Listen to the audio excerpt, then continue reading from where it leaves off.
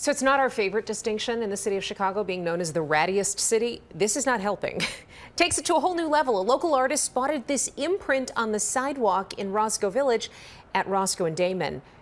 If, if we can see a wider shot of it, you can see the tail, the feet kind of sprawled out. It looks like it looks like the shape of a rat. Mm -hmm. So he posted the photo on social media, quickly went viral.